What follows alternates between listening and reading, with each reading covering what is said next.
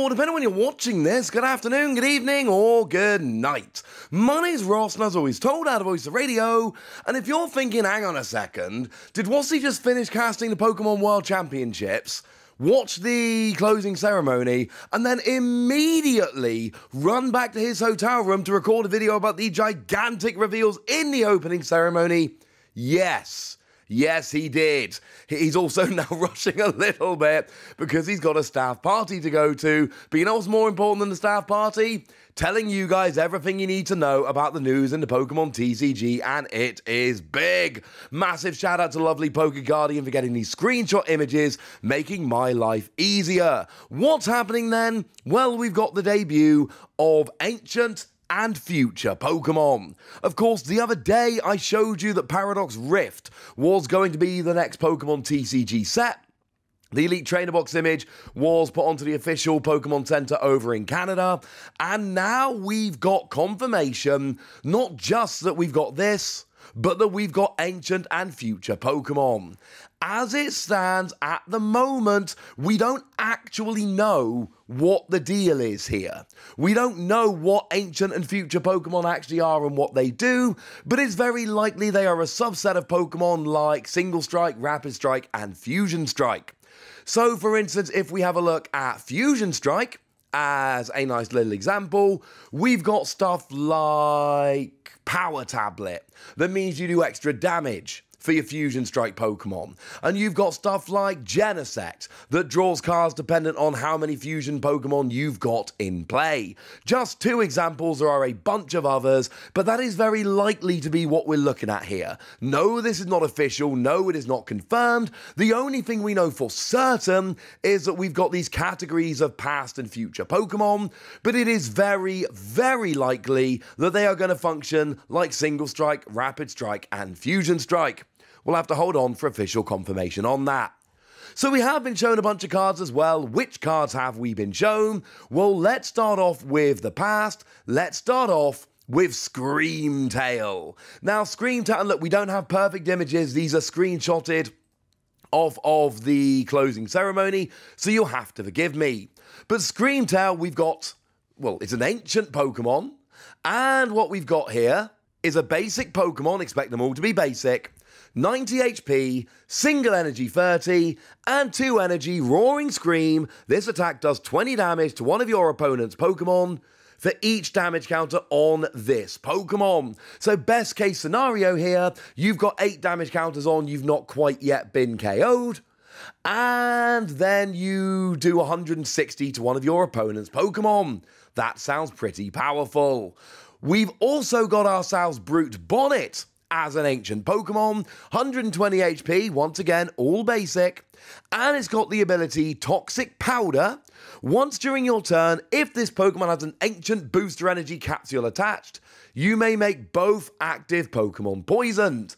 The question you're going to have right now is the same one I've got. What is an ancient booster energy capsule? The answer is, uh, it hasn't been shown off yet but it's plainly going to be a tool card of some description, and when you have it attached, you can play with poison.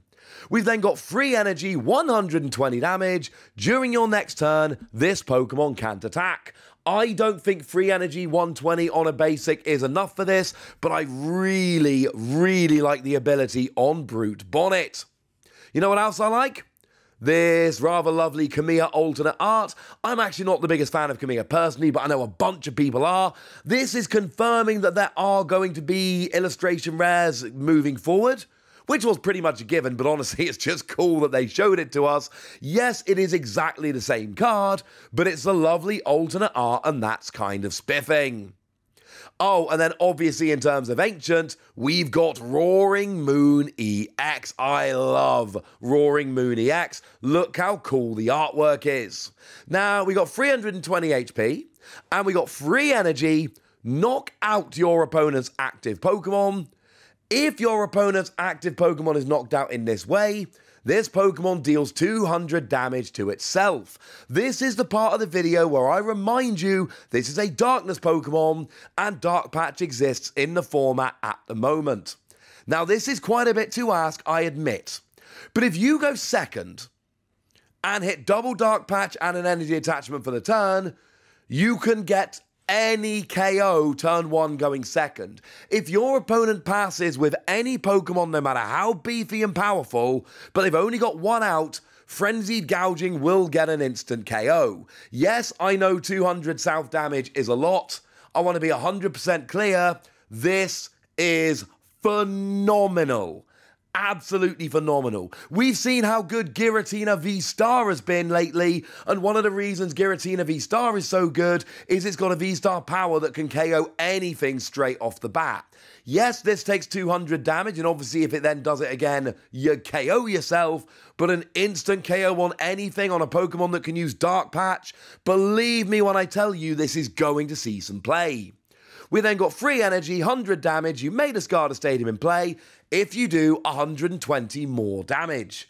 220 for free energy. Again, it's a basic. Again, you can use Dark Patch. This is borderline broken, this card. Like, this card is genuinely flat out full on ridiculous. This is a card which I expect to be very, very heavily played in the metagame. I think this is great. Looking more towards the future, we've got Iron Bundle. We got the ability Hyper Blower. Once during your turn, if this Pokemon is on your bench, you may switch out your opponent's active Pokemon to your bench, or to the bench. Your opponent chooses a new active Pokemon.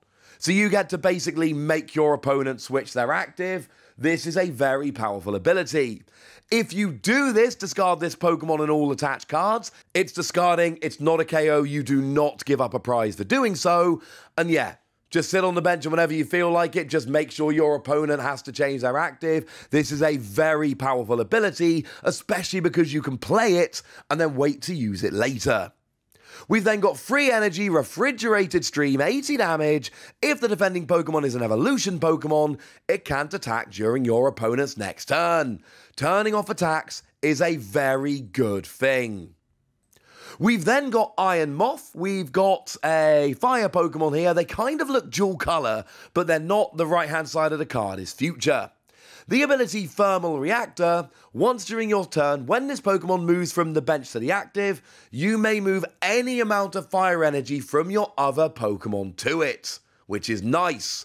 We've then got free fire energy, 120, and it can't use it next turn. Yes, I know I said it wasn't good enough on Brute Bonnet, but here, because you can use the ability to move energy over to it, I actually like this one quite a bit more. And, you know, not for nothing, but we've got the illustration rare. Beautiful illustration rare. And like we said a minute ago, we're talking about the same card. There's nothing different about this. These are, you know, illustration rares as we've had for a while now, but this is still extremely cool. Oh, and then of course, Iron Valiant EX. Roaring Moon was broken. Is this one broken? Well, once during your turn, when this Pokemon moves from your bench to the active, you may put two damage counters on one of your opponent's Pokemon. Yes. This is actually genuinely, legitimately, ridiculously broken.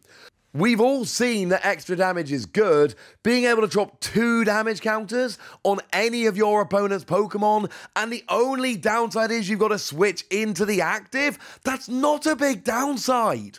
This is a ridiculous ability, which again, I expect to see a huge amount of play.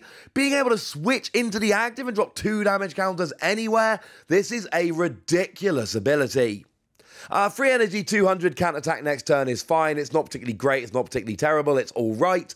This is a card, though, that we're going to see played for the ability. Watch out if we ever get a tool that allows you to attack uh, retreat for free, or maybe a stadium or something along those lines. It will make, and there may well be one in the set because these types of Pokemon often have stuff like that, that will make it even more ridiculously broken. I think the EXs here are ridiculous, and I think there is a lot of potential here. Oh, yeah, and Ace specs are back.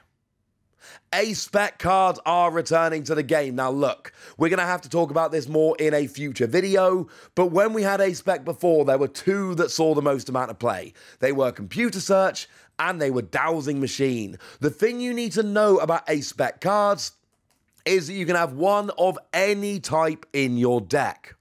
Now, Ace specs previously were only trainer cards. They didn't exist other than as trainer cards. That doesn't mean that they won't this time, but it means that there is a very good chance that this will be the case again.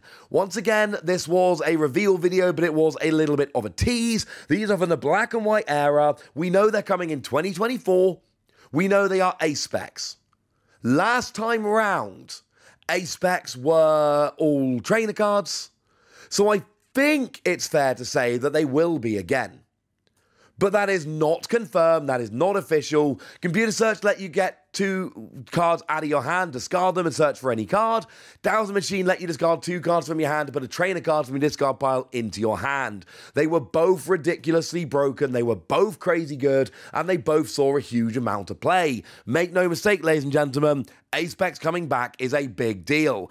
I expected and predicted on this channel that we would see a you know a reveal of Paradox Pokemon. We got that. I did not see the return of Ace-Specs. That was not on my bingo card. I did not expect that, and I love it. I am excited. I can't wait to see some in person. But I've got a staff party to go to, and yeah, I've told you everything there is to know. So now, ladies and gentlemen, it's up to you guys. I want to know all of your thoughts about this. I want to know anything you want to tell me. So let me know in the comment section. Go nuts! Be nice! And then make sure you like this video, subscribe to this channel, follow me on Twitter at the Wasi. That's where we talk Pokemon and card games and all kinds of fun things. And please do consider checking out patreon.com slash ptcgradio, where you can support the channel, get some bonus podcasts, and, you know, generally just have an awesome fun time. But by far the most important thing as always, look after yourselves till next time, would ya? Thank you very much for watching. My name's Ross, and you've been watching PTCG Radio.